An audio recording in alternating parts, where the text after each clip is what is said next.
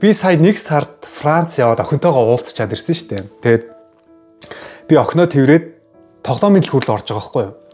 Тэгээд тоглоомын дэлгүүр дотор оронгууд чинь тэр Франц чинь бүх дүүрэн тоглоом, битүү тоглоом. Тэгээд уянгалангийн хамгийн орох дуртай газар нь тэгээ ороод уянгаланг тавилаа. Хүүст бужигнуулж өгнө. Ийш тийшээ гүүгээ зүгээр.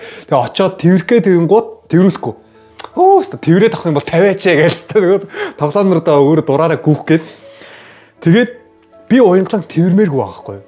Би илүү ингээд тавиад өөрөөр нь ингээд тоглоо дураараа тэр хүүхд гүүж байгаа гарахаар надад амар гоё. Би тэгтээ тэр чинь нөө дөнгөж алхаад удаагүй болохоор унчих гээд байгаа юм чаа юм мөргөд унчин амар эвгүүг нь хоёр тишээ говьл. Тэгээ араас нь ингээл тэр төрхийг хараад надад амар гоё тийм аз жаргалтай мэдрэмж төрж байгаа байхгүй юу. Тэр хүүхд өөрийнхөө дураар гүгээд өөрөө сонголтоо хийгээд хүссэн тоглоомоо очиж авч нураагаа зулгаагаад зүгээр тэрээд авчвал надад амар л та. Гэхдээ тэр хүүхдийг би дураар нь байлгамаар шүү. Тэрнээс би аз жаргалыг мэдэрч шүү. Уянгаланд энэ тариаг тархил юм болвол таны үгэнд 100% орно. Таны үгнээс огт гарахгүй. Та юу хэлнэ? За аваа. Ойлголоо аваа. Хичээл номонд байн онцтон аавна. Ерөөсөө л таны үгнээс огт гарахгүй.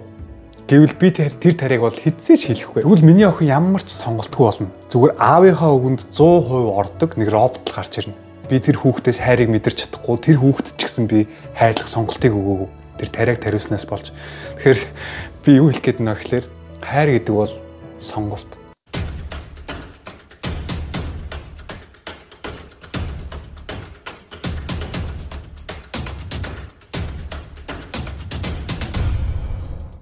За сайн бацхан уу Золбоо ТV та бүхэнд энэ өдрийн мэндийг хүргье. Тэгэхээр өнөөдрөөс Univision, DD-ш, Look TV-д чи өөрөө хайр гих уран сайхны кино гарч эхэлж байгаа юм байна. Бүгдээр ихлээр киноныхаа трейлерыг үзчихээд дараа нь кинонд тоглосон гурван бүсгүй энэ хортой харилцаа токсик харилцааны талаар ярилцаж подкаст хийсэн байгаа. Тэрийг нь сонсонгоо золбоонд реакшн гаргах болно. Аракшна гаргана. Гурван бүсгүй маань энэ токсик харилцааны талаар юу гэж ярилццгаасан байна. Сонсохыг үнэхээр их хүсэж байна. Энэ бичлэгийг хийх гэж 2 хоног хүлээлээ. Тэгээ мэдээж кинотаага уялдсан подкастыг хийсэн байгаа. За, эхлээд хэдүүлээ трейлерыг үзчихэд подкастаа сонсъё. Яа, миний мөрөөдлийн цал. 14 хоногийн дараа суд өдөр гарч байна. Цаач нэртэй. Яг минийс тохирсон зал. Энэ хоримлоо миний мөрөөдлийн хорим биш. Чи сайн бодсон уу? Юунд тавилдгийг? Уурч хүрээд байгаа бол ээжтэй уураа гарах ойлгосон уу? Суугаагүй байхдаа ингэж дарлуулж байгаа юм чинь суусныхаа дараа бүр бацуусах юм байна л ба. Би чамайг урд нь харж илв. Гү гү гү. Энэ манай топ креатив байгаа. Казури гэдэг. Хоёлоо кофе шоп орж явах суух уу? Цаач нэртэй. Ор хүнчлийнхэн даавал хилтэй шиг стандарттай гэл бод. Тийм учраас миний охин айлд бэр болоод очихдоо үн цэнтэй очих хэрэгтэй. Одоос эхлээд бишний амжилтад таснаа. Cheers. Бүх зүйл чиний хүсснээр болж байгаа үстэй. Наад пост устдаг. Бас нэг асуудал байна. би сайн байхыг хүсэж байна гэд. Яг үндэ өөрөө өөрөөрөө байж чадхаа болно л гэсэн. Чиний алдаанаас болоод би амьдралгүй болох гээд. хайр сэтгэлч гэсэн бас нэгэн сорил. Чиний яриадсан мөрөөдлийн өрөм чинь энэ л юм байна л та.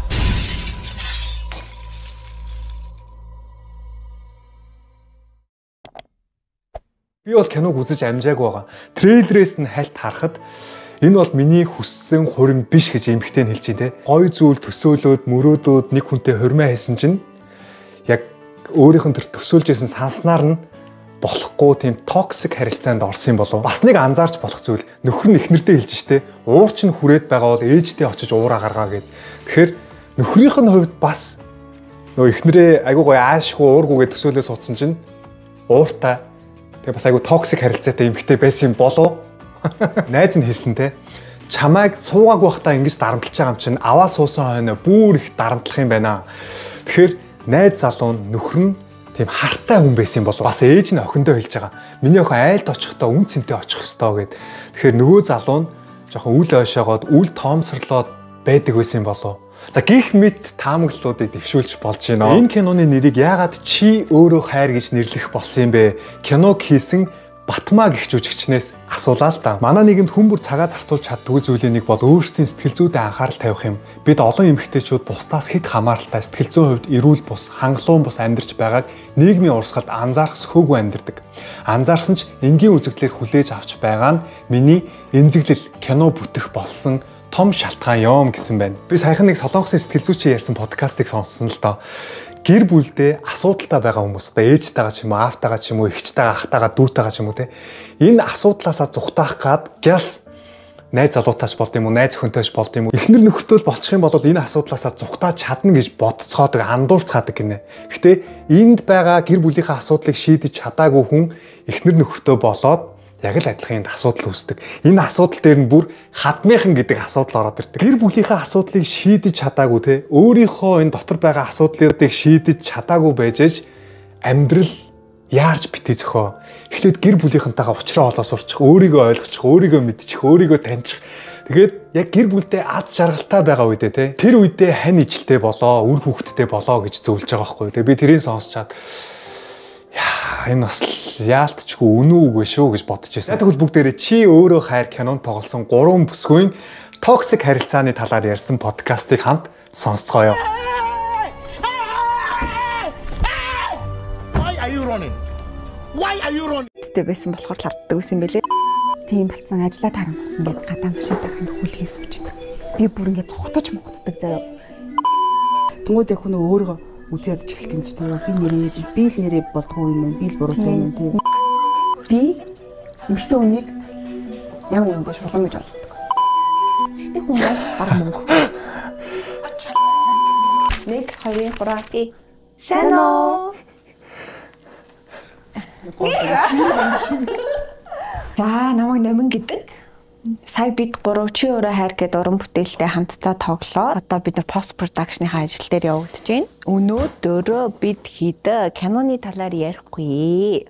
Номин гэдэг хүний талаас ярих гэж ирсэн. Бид гурав дөрүүдийн талаар бол ярихгүй. Өнөөдөр энэ киноны талаар бол нэг ярихгүй. Өөрсдийнхөө талаар ярих гэж ирсэн. Энэ бол охтын нууц шивнэ. Хамт байгаарай. Аа. Бидэнтэй хамт. Аа, намаа мөх наран гэдэг. Тэгээд чи өөрөө хайр гэдэг киноны Увдсын дүрийг бүтээсэн байна. За намайг их цул гэдэг. Би чи өөрөө хайр киноны Сарнагийн дүр тоглосон. Аа. Увдсын Увд чимгээ хоёрын багын найз байна. Аа.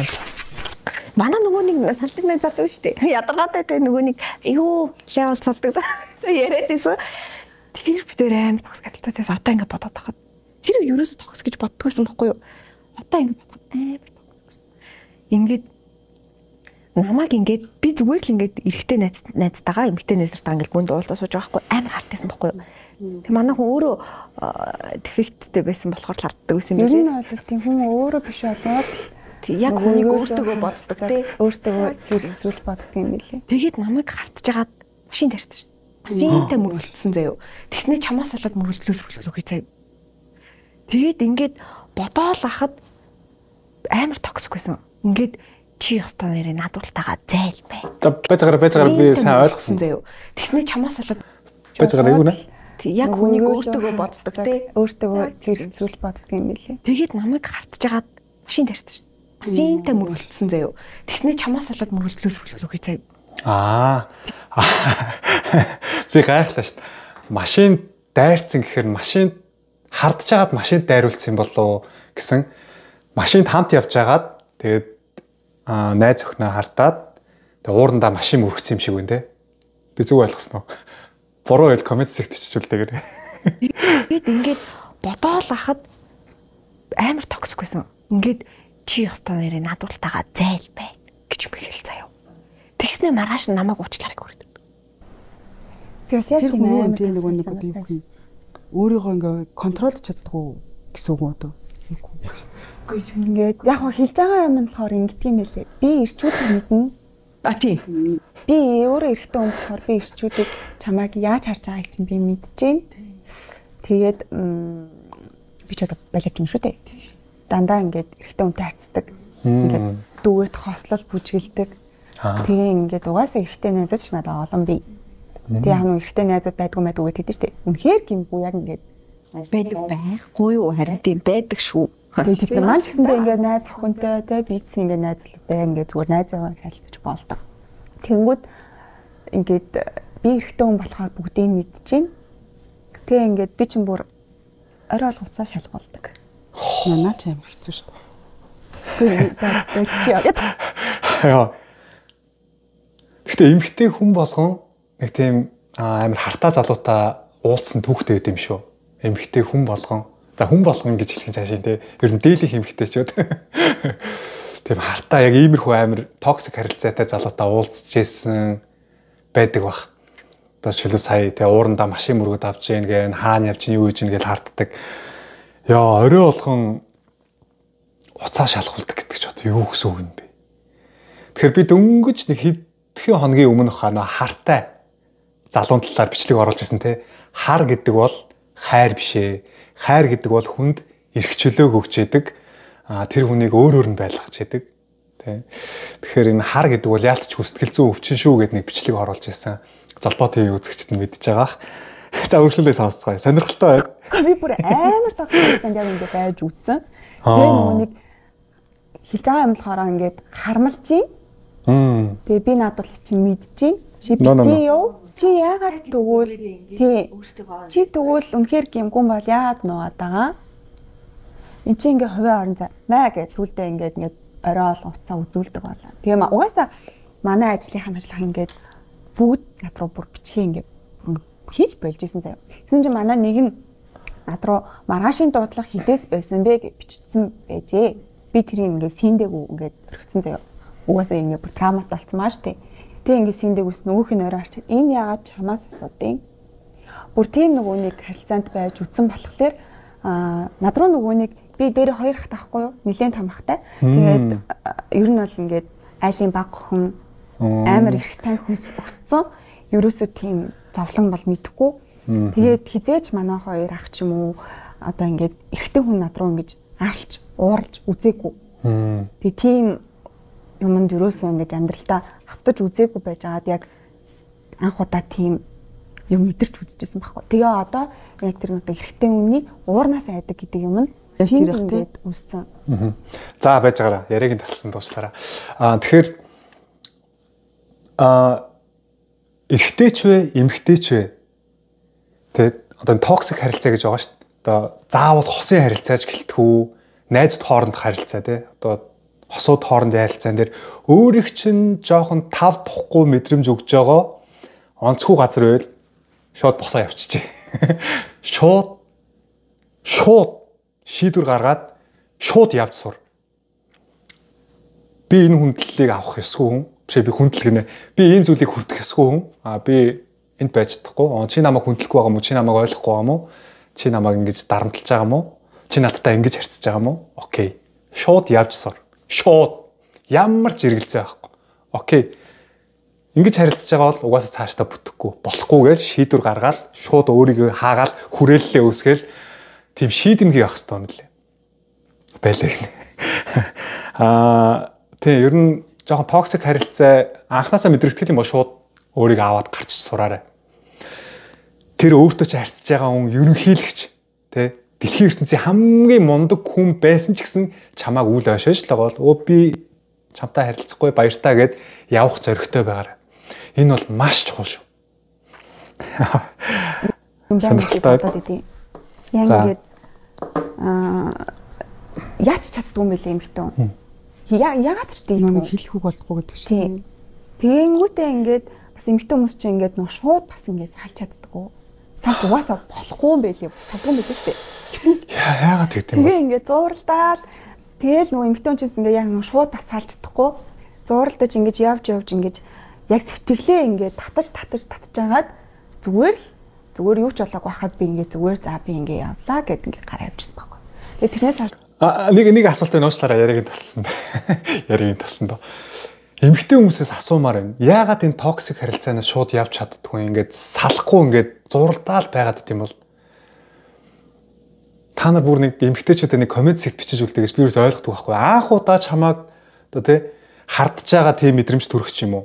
Анх удаа чамааг оо янз бүрээр хэлэх ч юм уу тэ. Одоо янз бүрийн тийм хараалын үг хэлэх ч юм уу. Эсвэл гар хүртэх ч юм уу тийм мэдрэмжийг авч яхад яагаад шууд хүү за энэ үдээсээ болохгүй байна бүтэхгүй байна бушуухан цухтаа гэж салж чаддгүй юм бэ эрэгтэй хүн чинь тийм эмэгтэй хүнд тийм үйлдэл гаргаж байна гэдэг чинь ер нь цаашдаа амар токсик харилцаатай байх нь ойлгомжтой шүү дээ. Тэг яагаад салж чаддгүй юм бол тэрийг нэг бичээд үлдээгээрээ. А яг нэг гэр бүлтэй болоод хүүхэдтэй болоод те тэр бол өөр асуудал та. Тэгээд хариуцлага өргөх ёстой. За нэгд хүүхэдтэй болсон юм чи энэ асуудлыг айлах шийдэх гэж хичээх ёстой, оролдох ёстой.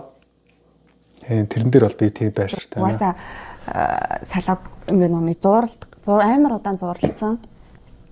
Тэгээ ингээл гэр мэртээ ингээл харахаар гэр үүдэнд ингээ сууж идэг. Тэгээ би тэрнээс нь ингээ хайдаг. Яа, ажиллаад харангуут ингээ гадаа машинтайгаа ингээ хүлгээ сууж идэг. Яа. Ингээ цогтож мугтдаг заяа. Энэ бол миний өмч гэж ажилладаг болсон байхгүй юу? Яг нөгөө нэг Яа ингээд хамаа юу дүүлээ. Нэг амар хайрлаад байгаа юм лөө. Энэ алган дээр ингээл байлждаг тий. Жохон ингээ юм уцаагаад ингээд тий. Гэвч. Тэр үед чинь бас би жоохон байжээ. Тэгээ сарчаад яг стаачинхэн амьдралыг одоо би юу ч хийсэн хамаагүй гэд ингээд гараад 9 шидэ юм хийж үзсэн. Яг нэг тийм ажлын юм шүү. Хүн нөгөө нэг амар стресстэй өөртөө ямар ч ихтэлгүй болоод амар юм хэцүү болчтой тий. Тий ингээд баг нөгөө нэг эхлээл ингээд бүх юмаа тайлбарлаа л ингээд сүултээ хүн амт ингээд нэг бидний мэдэхгүй байхад нэг юм бичиж шүү дээ. Тэгмүүд тэрийгээ хүртэл нэ тэрнээс хүртэл нэг дав хийгээл. Тэрний нөгөө хамгийн амар зүйл нь зориггүй мөрөөдөлгүй болчтой юм лээ. Тийм яг үнэ. Яг нөгөө нэг нөгөө хүндээ тааруулж амьдардаг нөгөө үнэл хардаг. Одоо ингэж хэлчих бас яах вэ? Тийм ингэж хэлчихгүй лөө. Би ийшээ явчих гэвэл яах вэ? За яна энэ над руу битсэн мэт яна гэж ингэдэг. За энд баг хариу өгчснөөс устгацсан дээр. Тий, яг үнэ. Тэнгүүтээ илүү ингээд нөгөө хартуулаад амар ингэж байжгаад эмхтэн хүн чинь эргээд сөрөөд амар хартаа болчт юм байна гэж би ярьсан. Ер нь сүрч хартдаг болчт юм байна.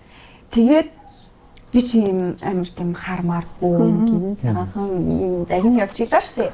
Тэгэж явж явж хаад тэгэж харагдаж байна. Хартуусараад сүүлдээ ингээд надад тэр нь бүр ингээд падлиж байхгүй болоод сүүлдээ би утсын ухмаар санагдаж эхэлж байгаа байхгүй. Тэг ингээд нууцаар ингээд утсын яаж уу яаж код юм. Энэ юу? Алтны хажууд гуйл шарлна гэж үгээд штэ. Хажууд байгаа хүн хардаад ахаар мэдээж тэр хүн ч гэсэн энэ хүн яагаад намайг хардаад дим бол энэ хүн өөрөө явдалтай, энэ хүн өөрөө асуудалтай тий. Энэ хүнд ямар нэгэн нууц байгаа болохоор намайг ингэж хардаад дим байна да. Энэ хүн юу н яагаад надад уцаа үзүүлэхгүй байгаа. Чи юу н өөрөө хаагуур явдیں۔ гэл нэг токсик харилцаа эхэлдэг юм болов. За, үргэлжлүүлээ сонсоо. Хөгдөг юм бодсон. Одоо ингэ токсик харилцаанд дондож гисэн юм байна. Дондож хэлж байгаа байхгүй. Тэгээд Тэгээд зам юмсан. Токсик харилцаанд донтноо. Гэтэ анзаарвал ингээд найзууд найзууд бас асуугаар тэгдэг л шүү дээ. Дараа нь ингээ ярихлаар чи яг тэр ингээд харилцааныхаа үед нүдний чин гал байхгүй юм байсан гэдэг.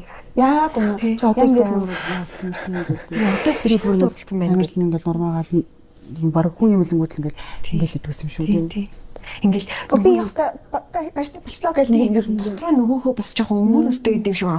Бас нэг за бас тийм сайн зантай ш гэд нэг дотроо нэг өмөрөх маяг ингэ. Тийм амар хартай ч бас яг ингээ муу хүн бол биш те. Тэгтэл л нэг тийм амар сул талтай. Тэрэнд ингээ нөгөө эмгтэн өөрийн мэдлгүй автаад ингээд бүр өөрийн мэдлгүй тэр юм дотор ингээ амар сайн халамжлалгүй халамжилдаг. Тэгсэн мэт. А байж байгаа. За уучлаарай яриаг талсан. Нэг юм асууя бас. А одоо яг ингээд амар хардуулдаг ус ингээд ярьж штэ тэ. Тэгээд одоо энэ токсик харилцаанд донтчдаг гэж хүртэл сая ярьж штэ. Тэгэхээр магадгүй дараагийн найз залуу ч юм уу огт харгүй бол яг уу.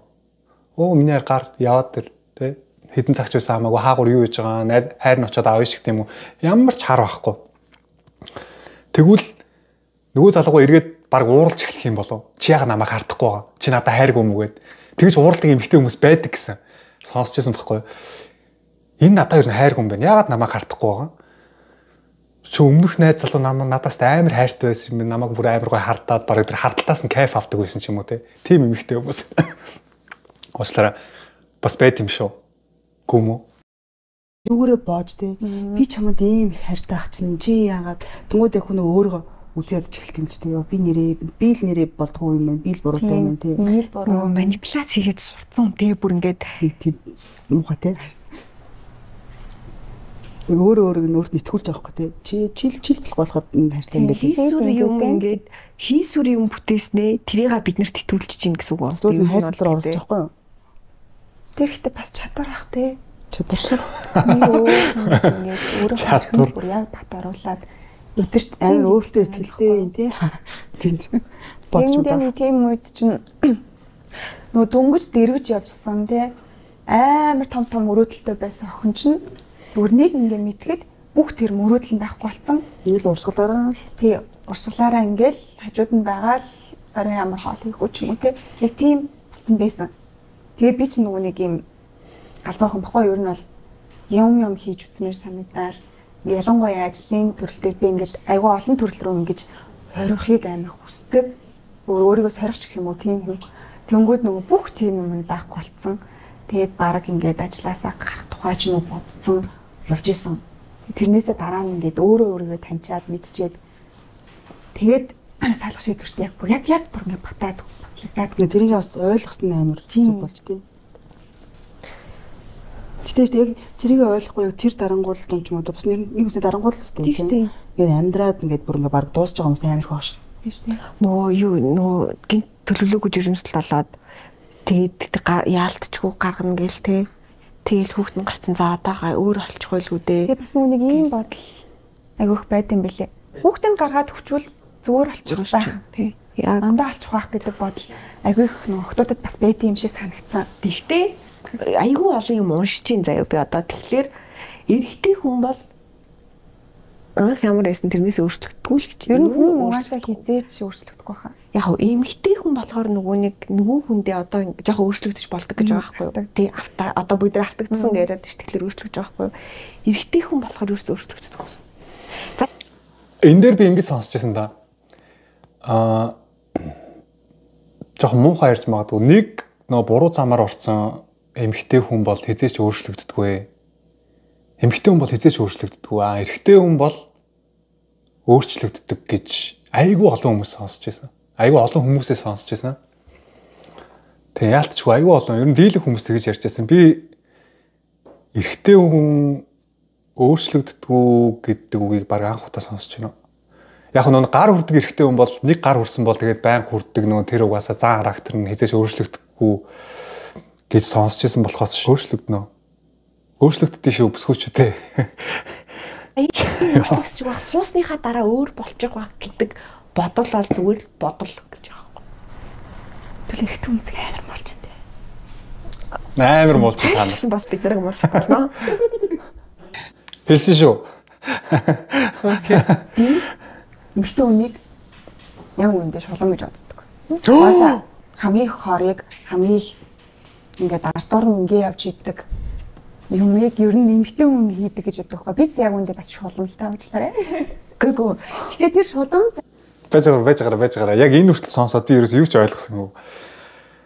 Саянаас хойш тэр ихтэй намайг ингэж ингэж ингэж ингэж ингэж дарамтлагдаг байсан, ийм хартаа байсан, надад амар хэцүү байсан гэж ярьж байсан. Өөрөө өөргөө шулам гэлчихэж байгаа юм эмгтэй хүн болох шулам аа. За сая үргэлжлүүлээ сонсъё. Гайхчлаа. гарах уу? аа яг Яг тэр дагныг олж гарах уу гэдэг бол нөгөө хүнийх нь асуудал гэхгүй юу? Хоёр юм байдаг гэж. Тий. Тэгэнгүүт угаасаа эмэгтэй хүн нэг ингээд одоо хамаг юмаа гарах юм бол одоо барьж барьж барьж аваад хамаагүй ураа ч юм уу те нэг тийм юмаа гарах юм бол ер нь эмэгтэй хүн айгүй амар гэж ер нь боддог. Тэгээ ер нь бол Окей, ойлгочлаа. Юу ярих гэж байна ойлгочлаа. Эмгтэй хүн дагинч тэг дагны төрөгч байдаг, шулмын төрөгч байдаг. А гэхдээ дагныг гаргаж ирэх үү, шулмыг гаргаж ирэх үү гэдэг нь тухайн үргэж байгаа найз залуу ч юм уу нөхрөөс нь шалтгаалдаг гэж ярьж штэ тэ. А миний бодлоор энийг зөвхөн эрэгтэй эмэгтэй гэж ялгаж салгахаасаа илүү хүн ер нь хүн тийм баг. А эрэгтэйчүүдийн хувьд ялгаагүй тэгээ одоо шулам гэхгүй тэгвэл мангас гээл та тий. Эрэгтэй хүнд мангасын төрөгч байгаа, хааны төрөгч байгаа гэдэг юм тий. Ухаалаг хааны төрөх байгаа гэж бодъё л доо. Тэгэхээр мангасыг гаргаж ирэх үү, тэр ухаалаг хааныг гаргаж ирэх үү гэдэг нь тухайн эмэгтэй хүнээсээ шалтгаалах. Тэгэхээр энэ дээр яг эрэгтэй эмэгтэй гэж нөгөө нэг хүүсийн ялгаа өгөх нь миний хувьд жоохон өрөөсгөл ойлголт юм болов. Эрэгтэй эмэгтэй хүмүүс ялгаагүй л. эмэгтэй хүнс бас Дуу гэж. Өөрөөсөө ч сайдаг. Нэг шийдсэн хүн бол нөгөө нэг эмэгтэй хүн нэг шийтгэхээр шууд хийдэг, шууд явдаг гэдэг байгаа шүү дээ. Эрэгтэй хүмүүс болохоор ингээд нөгөө нэг яг нөгөө ганц авах юм ингээд эргэж буцааддаг гэж магадгүй. А яг нэг шийтгэхээр бол нам шийддэг гэдэг бол харин тийм. Ер нь эмэгтэй хүн болоод юм шиг байна. Ямар бордоогоор усалмаар байна те. Тий. Яг бордож гин үү? Ямар усаар усалж гин? Яг тэрнээс нь таалаад эмэгтэй хүн ч угаасаа цэцэг шүү. Тэгээд нөгөө хүндээ ингээд гоё үнрээ халгаруулмаар байдаг те. Тэгээ нөгөө хүн ингээд хатаж үхээд байвал чадахгүй өргсөө гаргана штэ. Эрэгтэй хүн шийдэх хаа. Тэгтээ бас болтгүй хоёр тал байна. Амар? Байгаа байна. Хүмүүс зөндөө байна. Үгүй. Одоо ингээд манай ингээд ингээд эрэгтэй найзнараас ингээд юм сонсголоор заяа. Бүр нэг хэлэх гэж шүү дээ. Нөгөө найз охин нь ингээд урд нь айгу олон хүнтэй байсан ч юм уу тэр драасаа ингээ харилцаагаа дуусгаагүй жаа нийлж мэлсэн байгаа хгүй юу. Тэгэл нөгөөхөө ингээл за яг энэ маань өөрөө айгу харьт болсон. Тэгэнгүүт манай охин бол араар ингээл яваад гэсэн байгаа хгүй юу. Ингээл араар нөгөөд Наас тэр хоёр хүний харилцааш бараг зүгээр харахад хоёр хүний юм шиг боловч зүгээр нэг хүний харилцаадсан юм шүү. Тэгэд дараа нь ингээд санаа зовж моод ингээд хийдэж одоо хийх гэж бас айгүй олон цаг хугацаа өнгөрсөн гэж санаа зовж штэ бас тийм эргэтэй юм чинь. Тэгээ хэлсэн чинь баг оо яа тийм баг. Ээ юу сүртэй. Яа. Тэр охин зүгээр анх амар бас юм хүнд юм аваад өмөр мөрөө тэг тийм болсон бас Нөгөө талаас нь бодлоо. Үгүй гэхдээ бас ингээд хүний өссөн орчин ярьсан штэ тий нөгөө ямар орчинд өссөн ч айгүй шалтгаалж байгаа байхгүй юу? Эрэгтэй хүнтэй хамаатай, эмэгтэй хүнтэй ч айгүй хамаатай. Тэгэхээр яа бүгдээрээ хүүхдээсэн дээ анхаа. Тий, тийм бүгдээрээ л анх хүүхдээсэн бүгдээрээ цагаан цаас байсан. Тэнгүүт нэг юм яалтчгүй хэцүү те цаг хугацаанд өссөн ч юм уу тийм охтууд бол сонголт ч юм уу ер нь яриа мэрэ нэлтгүүл юм биш шүү дээ. Анхнаасаа л ингээл сонсоод л эрэгтэй хүн бол баг мөнгө. Зүгээр мөнгө. Тэ. Надад хайр хайр гэж юм гэж ярьдаг байдаг. Ингэсэн. Байдаг, байдаг. сонсчулаад байх болох. За зүгээр зүгээр яриа. Чөө шоо шүү. Ингэж аахгүй. Хайр уу? Карьер уу гэдээ асууж байгаа байхгүй. Тэгсэн чинь наадхан чинь бодоод ах юу байна? Бензэр хургуулах уу, автобусаар хургуулах уу гэж байгаа штэ. Гэсэн баггүй.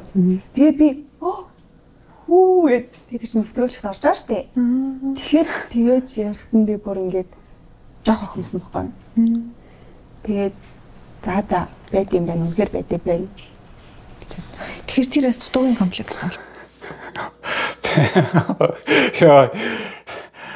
Гор горлаас та гоё ярьж байна тий. Аа бензэр хургуулах уу, автобусаар хургуулах уу? Аа Гэтэ ямар ч эмэгтэй хүн бензэр хургуулъя л гэж бодох. Тэ? Ямар ч эмэгтэй хүн автобусаар хургуулъя гэж бодохгүй шүү дээ. Тэгэхээр аа одоо жишээлбэл ингэж асуумаар энэ эмэгтэйчүүдээсээ бензтэй муу залуутаа суух уу? Бензтэй те баян токсик харилцаатай муу залуутаа суух уу? Автобусанд суугаад явдаг ч гэсэн халамжтай сайн найз найз залуутай байсан дээр энэ хоёрын голоос нь аа энэ бензтэй токсик харилцаатай муу залуугийн сонгоно гэж байгаа хүм эмэгтэй хүн бол яалтчгүй нөгөө нэг эд юмс болдог эмэгтэй юм болоо. токсик харилцаа хүний амьдралд байх ёстой гэж бодож байна би. Нэг үдцэн байх хэрэгтэй. Ийм харилцаа байдгийн байна. Хүн ийм хүн байдгийн байна. Эрэгтэй чинь эрэгтэй ч тэр эмэгтэй ч тэр үдчгээрээ хүн дараач байгаа хүний сонгох сонголт нь илүү өөр болт юм билээ. Тэгэхээр хамгийн гол нь тэр токсик харилцаанаас хэрхэн гарах вэ гэдэг нь чухал болчих жоохгүй юу? Энэ токсик харилцаа юм байна гэдгийг хүлээн зөвшөөрөөд гарч чадсан тэр үе бас бас өөрийгөө нэг даван тулах мөчтэй. Өөрийгөө нэг юм ялцсан мэдрэмжтэй ер нь би бол яг тэр залуугаас алчаад би өөрийгөө миний амьдралдаа исэн хамгийн зөв шийдвэр байлаа л гэж бодчихсон. Би болохоор ингэ Баярлаа. салтын талаар зүгээр нэг юм хэлье.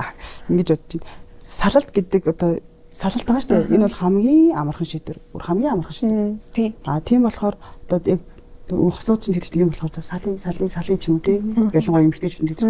Тэгвэл буцаага тэр эрэгтэй хүнд бас ямар байх бол тийм тэрийг сонсож байгаа эрэгтэй хүмүүс ямар байх бол тийм болохоор яг нэг нэг юм одоо токсик юм ингээд бас хоорондоо амар токсик нь амар гоё асуудал байдаг шүү дээ. Ингээд тохирч байгаа мөртлөө хиннийх нь хараад Токсик хэрнээ ямар ямар гоё асууж байдаг. Үгүй яг сэтгэлээс амар хайртай хүмүүс шүү. Гэхдээ ингээд зүр нэг нэгэндээ илэрхийлж байгаа илэрхийлэх нь амар хэцүү ч юм уу тий. Тэгээ тэрийг ингээд дараа нь яаж давж туулдгаа ойлгодог ч юм яаж илэрхээ ч юм уу гэдгийг мэддэг болсон хүмүүс одоо хүртэл байгаа л та. Одоо хүртэл ингээд хамт байдаг, хамт байна ч гэж нэг хорвоо токсик харилцаа юу? Юу гэсэн үг вэ? Хоёр хоёулаа тийм токсик ингээд за тийм авцаад ингээд байж байгаа нь бас гоё ч юм уу сонирхолтой ч юм уу санагддаг хүмүүс бас байгаа л. Одоо бүх зүйлийн одоо штэ бүх зүйлийн хамгийн одоо нэг тавих юм чинь сэтгэл зүйн эрүүл мэнд гэж юм ба штэ. Одоо хүн болгоод ихэнх нь юм сэтгэл зүйн жоохон тоглолтоо. Тийм болохоор сэтгэл зүгэл амар эрүүл байлгаад одоо бид нар тэгдэж нэг нэг л асуудал гарах бол найз нар очил тэ яа найз тэт ингээд тэгээд гэлтгүүд ба нөгөөх нь нэг ус хаяач юм гэж энэ чинь бол ерөөсөө зөвлөгөө биш байхгүй юу? Баг хор байхгүй юу? Тийм болохоор зүгээр хүнээс гуйхгүйгээр тэр хүнтэйгээ амар сайн ярилцаад болохгүй байгаа бол зүгээр сэтгэл зүйсээр очиж чи. Гэтээ нэг манайхан чинь ер нь сэтгэл зүйн эргэлэндээ амар ингээ хайцсан шүү дээ монголчууд. Одоо жоохон бас нэг хилж байгаа юм шиг байна тий ойлгож баг багаар. Тий одоо бас гайгүй болцсон хаа. Тий. Одоо гэхдээ ер нь анх ингээд сэтгэл зүйн талмалгаа ярихад л би сэтгэл зүйн өвчтөй биш. Би өвчнөй биш гэдэг хэсэг нэг тэгээд идэв гэсэн шүү дээ.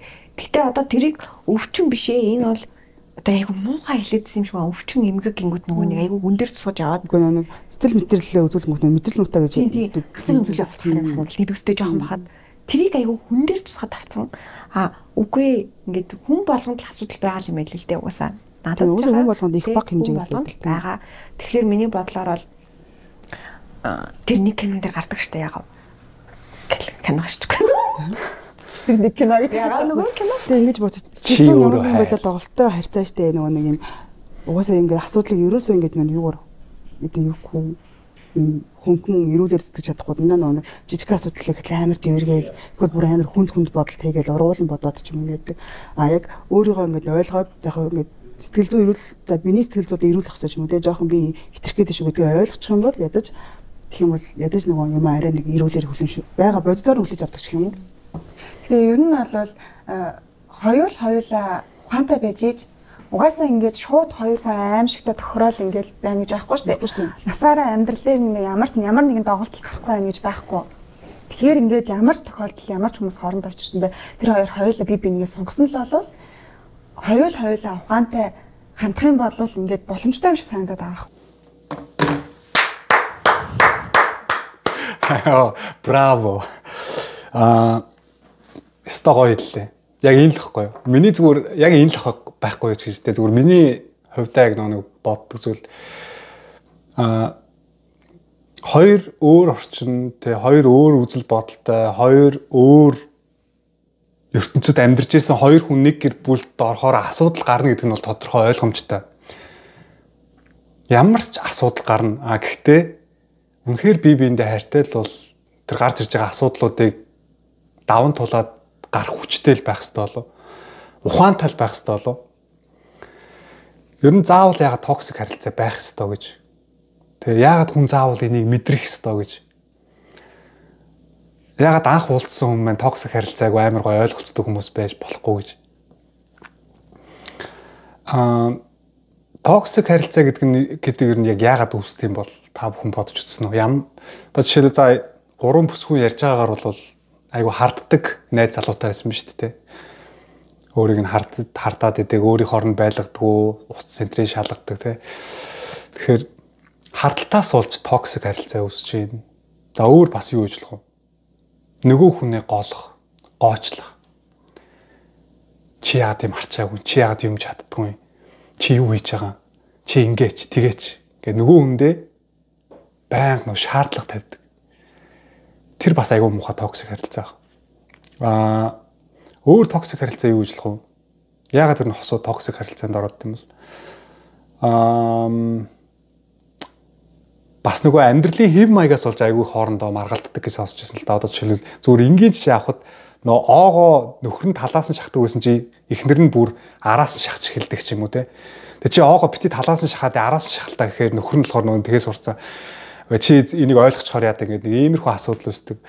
Гэхдээ ер нь ямар ч асуудал, ямар ч маргаан юу болдогч вэ те. Бараг ингээд дэлхийн ертөнд сүрэх дээр тулсан ч бай. Үнэхээр бие биентэй хайртай Үнэхээр бие биендээ хайртай л бол ямар ч асуудлыг даваал гарна.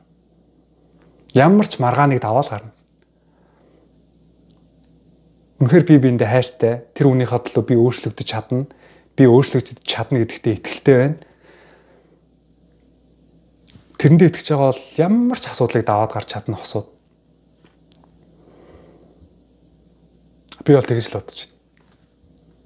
Ямар ч асуудлыг давж гарч чадсан шүнээр. Хин тэ ээж аав ах хэгч хамаатан садан хүн амтын яана юу гэж бодох? Хинт хамаатай, хинт хэрэгтэй. Хүмүүс ч бас тэгдэж штэ нөх хүмүүсийн амар нэг одоо хүмүүс юугээ бодчих бол тэ тэрэнд айгүй анхаарлаа төвлөрүүлдэг. Гэхдээ тэгэхээр үнэхээр хайртай хүмүүс бол а ямар ч асуудал байсан буцаад эвлэрэх буцаад эвлэрдэг. Аа буцаад би бинийг хайрлах. Аа гэхдээ үнэхээр хоёр биендээ хайргүй ч юм уу айлсгүй нэг нь үнэхээр нэгэндээ хайр сэтгэл байгаагүй болвол мянга хүчлээд яах юм бэ тэрийг нэг нь мянга хүчлээд яах юм яаж чадахгүй шүү дээ. Тэгэхээр аа зүгээр юу хэлэх гээд байна гэхээр ярилцаад ойлголцдог хүнтэйгээ уулзна гэдэг хамгийн чухал. Ярилцаад ойлголцдог, яриа нэвтрэлцдэг, яриа ойлголцдог. Тийм, тиймэрхүү ярилцаж чаддаг хосуудл а аз жаргалтай. За аз жаргалтайг байн аз жаргалтай хин цаашаа тий. Ер нь асуудлуудыг даван туулаад гараад явж чаддсан болоо ярилцаж чаддаг хосууд, ойлголцож чаддаг хосууд. Тэгэхгүй нэг нь ярих гаддаг нөгөөх нь таг дууга болчдөг тий Үгүй чиний буруу. Чи тэнийг өн чи мангар байна гэдэг байвал wel явсаар явсаар тэр харилцаа бол яг нэг энэ хэлж байгаа шиг токсик харилцаа болоод хоёр тишээ болохосоор аргагүй. Аа зүгээр айгу яг нөө надтай үзэл бодол нэг юм ярихаар нь жоо сэтгэл өөрчлөө. Тэгэхгүй нэг нь ухаан зараад байдаг. Нэг нь дандаа буул тэгээд нэг нь дандаа ингээ ухаан зараад байдаг. Нөгөөх нь би яаж ч болно гэдэг иврээд тах юм бол тэр болохгүй. Тэр хоёр хоёулаа яг ярилцаад ойлголцоод ухаан зарч чадах юм бол ямар ч харилцаа ямар ч хүмүүсээс хоорондоо тааш тохироод явах боломжтой гэж уулын би боддгийг. Яг үнэ. Одоо юу яаж иж магадгүй ярихад амархан штэ гэж бодож иж магадгүй хүмүүс үзчихэд. Тэгтээ яг ярих амархан л та гэхдээ нөгөө хүн өөрөө өөрийгөө хүлээн зөвшөөрсөн цагаас эхлээд хамгийн том нөгөө суурин тавигдчихдаг гэдэг штэ. Тэгэхээр нөгөө токсик харилцаагаа үнэхээр одоо болтол токсик харилцаанд байгаа бол тэр харилцаагаа хүлээн зөвшөөрөөд нэг өөрөө өөрлөгөө нэг өнгөгөөсөө гэж хэлж байна. Өөрөө өөртөө маш сайн ярилцах хэрэгтэй байх. Тэгээд би угаасаа тэгдэг байхгүй ямар нэгэн асуудал гарах юм бол яг тэр нэг эмоцн дээр ингэдэггүй дандаа ингэж яг тэр тухайн моментоос алуу болж агаад тэгээ ингэж амар хөөртөгөө боддог. Яг нэг жаа нэг буруу юм хийж гээд би энэ угаасаа юм юм огцон мууртай хүн Тэгээ одоо яг тэрэн дээрээ ажиллаж хийж байгаа юм шүү байгаа. Одоо ингээ анзаармаа. Тэрийг юм шүү дээ. Тэгээ дараад тайвширчаад тэгээ айгуу сайн ингэж өөрөө өөртөө ярилцаж бодсныхаа ардаас үйлдэлээ хийдэг. Яг би тэр хүнтэй яаж харьцах ёстой вэ гэдэг үйлдэлээ хийдэг гэж би бод. Гэтэ саяхан нэг хүн блог гэсэн зурагтай байсан шүү энэ хүн.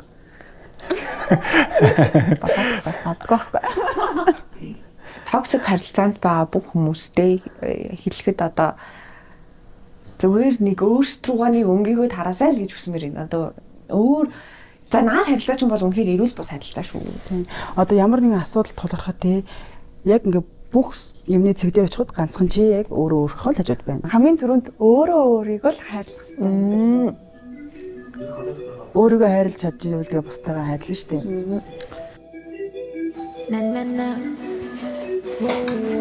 Воо. Оо дуун явах гэсэн юм. Яа.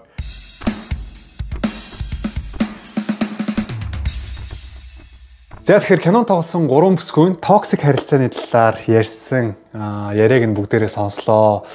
Тэгээ бүсгүүчүүдтэй гэж хэлэхэд өөрийн чинь харддаг, эрх чөлөөтэй байлгадгүй, өөрийнхөө дураар байлгах гаддаг, өөрийн чинь яг нэг өмч мэтээ эзэмшгээд байдаг тийм токсик харилцаатай харддаг, одоо уцын шин шалгадаг, чи хаагур яваа, хурдан ирээч гэл байн хардаж сэрддэг ийм залуучуудаас зүгээр эртхэн зайга барьсан дээрээ зүгээр шууд холцсон дээр бахал гэж хэлмээр байна. А тиймэрхүү залуучууд байвал өөрсдөө сэтгэл зүйн асуудлаа зассан дээр би яагаад энэ эмэгтэйг хардаад байгаа юм бол энэ бол хардл гэдэг бол өвчин гэдгээ өөрөө хүлээн зөвшөөрөөд сэтгэл зүйчдэр очиод би ингээ найз өхнөө хардаад. Надад яг ямар асуудал байгаа юм бол ба хайр гэдэг чинь хүнийг их чөлөөтэй байлгах те. Тэр хүнийг дураар нь байлгах хүсснээр нь байлгах те. Байгаагаар нь хайрлахыг хэлээд тахт. Би яагаад энэ хүнийг нэг эд материал шиг өмчилж авах гэдэг юм болоо? Зүгээр нэг гой жишээ аваад ярил л да. Танд нэг тариа байлаа гэж бодъё. Шприцтэй юм тариа байна заяа. Те тэр тариаг та найз өхөндөө ч юм уу найз залуудаа тарьчихл юм болвол найз залуучин ч юм уу найз өхөн чинь танаас өөр хэнийг ч харахгүй. 100% танд хайртай танаас өөр хүн нүдэнд нь харагдахгүй, танаас өөр хүн сэтгэлтэй болохгүй, чамгүй болон хүч хатна гэж зөвхөн л таныг харна. Өөр юу ч харахгүй гэд бодъё. Тэгвэл яг ийм тариаг найз залуудаа ч юм уу найз охиндоо тариулах хүн байна уу? Та өөрөөсөө нэг асуудаа. Ихэнх хүмүүс тийм тариаг хийлгүүлэхгүй дээ. Тариулахгүй дээ.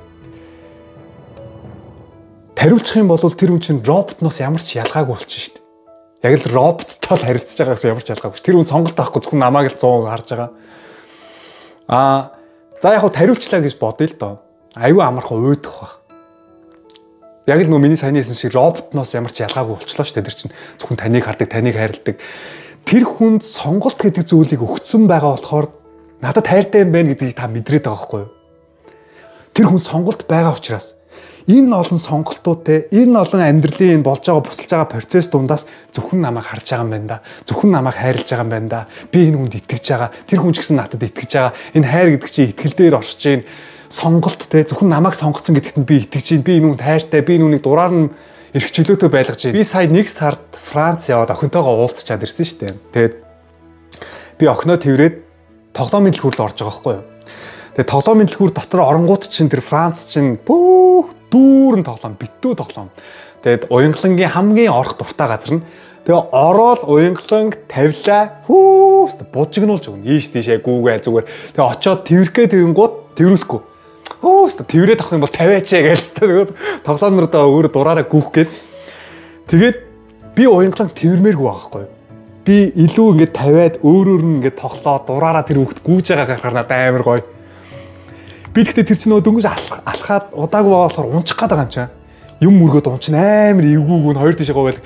Тэгээ араас нэгэл тэр төрхийг хараад надад амар гоё тийм аз жаргалтай мэдрэмж төрж байгаа байхгүй юу. Тэр хүүхд өөрийнхөө дураар гүгээд өөрөө сонголтоо хийгээд хүссэн тоглоомоо очиж авч нураагаа зулгаагаад Тэгээ зүгээр тэрээд авчвал надад амар л да. Гэхдээ тэр хүүхдийг би дураар нь байлгамаар шүү. Тэрнээс би аз жаргалыг мэдэрч шүү. Оёнглоо өмүүлээ тоглоомын эн тэндээс нь зулгаагаад ийш тийшээ ороод нөгөө нэг жоохон боснуулаа яваадсэн чинь тэр тоглоомын газрын ажилтан эмхтэй гарч ирээд а ингэж хамаагүй дураараа явчихлахгүй хүүхдээ тэргээд жоохон намайг зэмлж байгаа юм л да. Гэхдээ би оёнглон тэрч авчаад тэгээ явсныхан дараа дахиад охиногоо тавиад өөрөөр нь гоё их чөлөөтэй байлгамаар байгаа юм чинь. Хүүхдтэй хүмүүс нь яг өөрийнхөө хүүхд төр төсөөлөд нэг бодоод үзээрэй Уянгаланд энэ тариаг тархил юм болвол таны үгэнд 100% орно.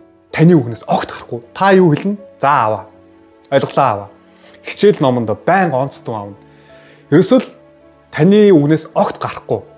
Гэвэл би тэр тариаг бол хизээч хэлэхгүй. Тэгвэл миний охин ямар ч сонголтгүй болно. Зүгээр аавынхаа үгэнд 100% ордог нэг робот гарч ирнэ. Би тэр хүүхдээс хайрыг мэдэрч чадахгүй. Тэр хүүхдэд ч гэсэн би хайрлах сонголтыг өгөөгүй. Тэр тариаг тариуснаас болж.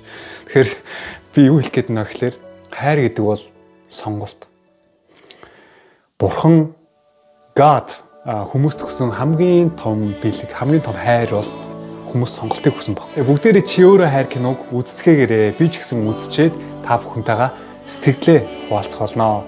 Өнөөдрийн нэвчлэгтээ хамт байсан үзэгчид та бүхэндээ маш их баярлалаа. Тэгвэл золбоо ТV-тэй дараагийнхаа бичлэгээр уулзлаа. Төр бай.